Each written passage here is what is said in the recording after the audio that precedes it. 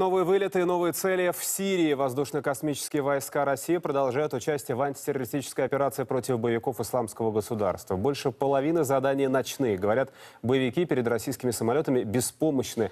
Маскировка и устаревшие зенитно-ракетные комплексы бесполезны. Маневрировать в темное время суток больше они не могут. Каждые несколько часов террористы лишаются части своей инфраструктуры.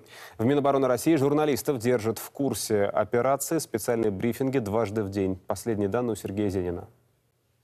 Первые кадры боевого применения многофункционального истребителя-бомбардировщика Су-34. Точное поражение замаскированного командного пункта террористов. Объект уничтожен полностью. Черный кружок. Огромная воронка, образовавшаяся на месте падения авиабомбы. Российские Су-34 наносили точные удары по целям с высоты более 5000 метров.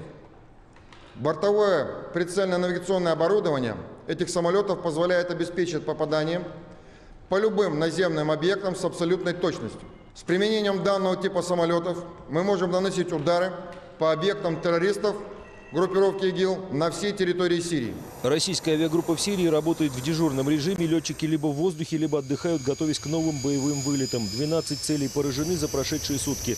18 боевых вылетов, из которых 10 ночью. Ночные авиаудары наносят существенный ущерб террористам, потому что практически не дают им возможности менять позиции. На экране полевой лагерь подготовки террористов ИГИЛ в районе Марет-Эн-Науман.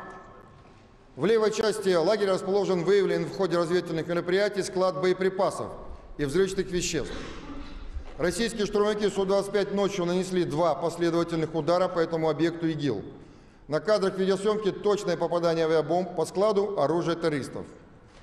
На кадрах хорошо видны воронки от разрывов бомб на территории полевого лагеря вне населенного пункта. В районах наибольшего сосредоточения техники и вооружений террористов штурмовикам Су-25 помогали фронтовые бомбардировщики Су-24. Позиции боевиков на окраине Марета Наумана. Авиаударом бомбардировщиков Су-24 уничтожены позиции боевиков на въезде в населенный пункт Марет Науман. На видеосъемке зафиксировано попадание авиабомб в укрытие боевиков на блокпосту и их возгорание. Информация о каждом боевом вылете поступает в Национальный центр управления обороной. Дважды в день сюда приглашают журналистов, чтобы предоставить исчерпывающую информацию о действиях нашей авиации в Сирии. Буквально через несколько часов поступят свежие данные. Сергей Зенин, Артем Тихонов, Виктор Аверин, Первый канал.